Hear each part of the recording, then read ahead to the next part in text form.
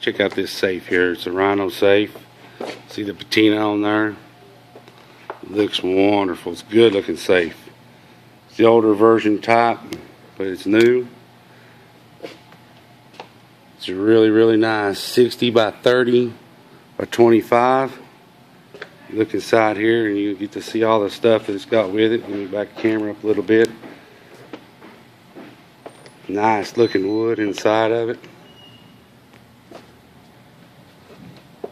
Look at all the gun spots. There's the shelves to go in here.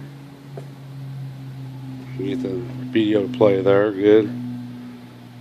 It's a good looking safe, guys. Really nice looking safe. Hey, if anybody's interested, all the information to be on there. It was $3,000 as you can see. They got a sale on it right now for $24.99.